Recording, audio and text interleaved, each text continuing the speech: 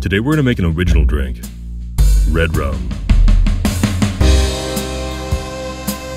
For this drink, you're going to need a rocks glass, a graduated double jigger, a measuring spoon, a bar spoon, a hawthorn strainer, a fine mesh strainer, a mixing glass, and a microplane grater, or a vegetable peeler, cutting board, and a small knife. This drink uses rum, Campari, cherry liqueur, curacao, and lime zest. This drink was inspired by The Shining, and my interpretation was pretty literal. The drink was made with rum, and its color is red. Not to mention that it looks like a drink that would pour out of an elevator in the Overlook. To achieve the color, Campari was the obvious choice, but I didn't want it to be as strongly bitter as a Negroni or some kind of Negroni variation. That's where the cherry liqueur comes in, which adds more sweetness as well as more color. In thinking about the drink, I was really taken with the idea of doing a stirred, spirit forward rum drink.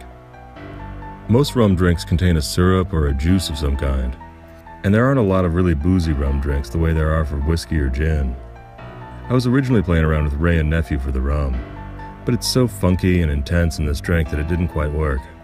It's possible to get a light rum to work in this drink, but a dark rum works better, and an overproof dark rum works best. And even though I'm using a Jamaican rum, I commandeered a lime zest technique from the Cuban bartenders of the 1920s.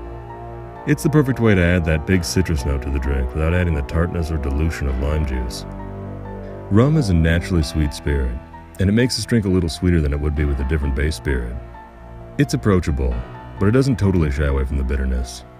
It's funky and citrusy and tempting, and at the overlook, red rum is on the house.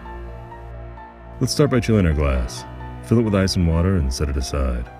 Next, we're going to measure an ounce and a half of rum, add that to the mixing glass, measure half an ounce of Campari, add that to the mixing glass, measure half an ounce of cherry liqueur, add that to the mixing glass, measure a quarter ounce of curacao, add that to the mixing glass.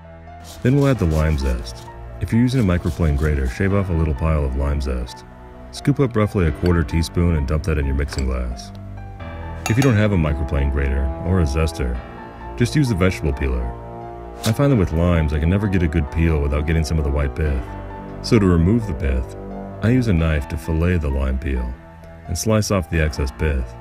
That way you'll have a good lime peel with very little pith to use in your mixing glass. Add ice and stir it well to chill it down and give some dilution. Dump the ice and water from your rocks glass, then double strain the contents of your mixing glass into your chilled rocks glass.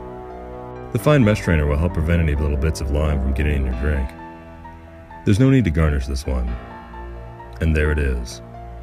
Redrum. Enjoy. Click here for more videos. Be sure to subscribe and check us out on Facebook, Twitter, and Instagram.